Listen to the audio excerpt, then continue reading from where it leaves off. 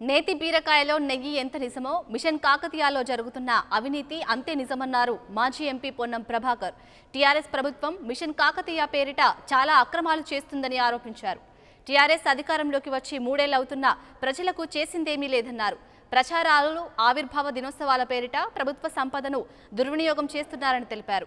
Machine Kakatiya పనుల అభివృద్ధి జరిగి చెరువులలో చేపల ద్వారా మత్స్యకారులకు లక్షల కోట్ల రూపాయలు వచ్చావన్నది అవాస్తవమని సిద్దిపేట నుంచి మంత్రి హరీష్ రావుకి సవాల్ చేస్తున్నామన్నారు.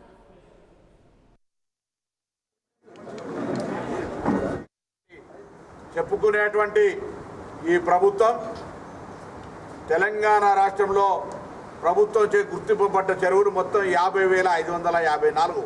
రాష్ట్ర ప్రభుత్వంతో వివిధ జిల్లాల్లో ముందు తొమ్మిది పది జిల్లాల్లో ఇప్పుడు ముప్పై ఒక్క జిల్లాల్లో గుర్తింపబడ్డటువంటి చెరువుల సంఖ్య యాభై వేల ఐదు వందల యాభై నాలుగు. జీవోల ద్వారా అనుమతించినటువంటి చెరువులు మాత్రం ఇరవై రెండు వేల ఐదు వందల అరవై ఐదే.